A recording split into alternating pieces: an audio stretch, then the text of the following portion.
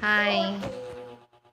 Ang i-share ko ngayon ay ang kung paano natin ma-activate ang Windows 7 kung nga na OS. Ito, kita nyo to na hindi pa siya activate. Ayan, ma-expire yan pag 30 days na. Kailangan i-activate natin ang, ang may application ako na mag-activate nito. Gamit ko yung Windows Loader.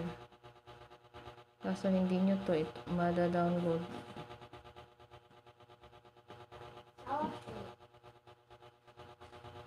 Kung hindi nyo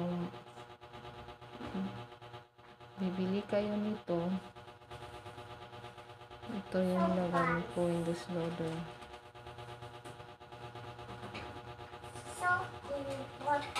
Install nyo lang. Yan, nakalagay na dyan automatic. Lumalabas na yung Toshiba kong laptop. Install ko lang. Ayan. Refresh.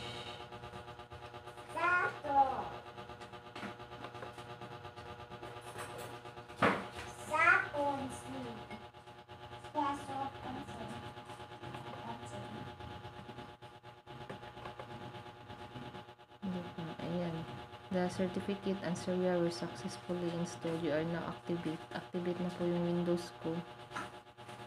Tingnan natin dito kung nakikita ba. Properties niya.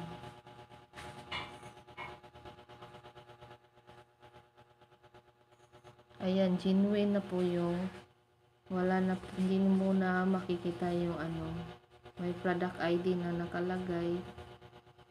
Ito, genuine na po. Ayan. Okay na siya, hindi na ma-expire yung Windows ko.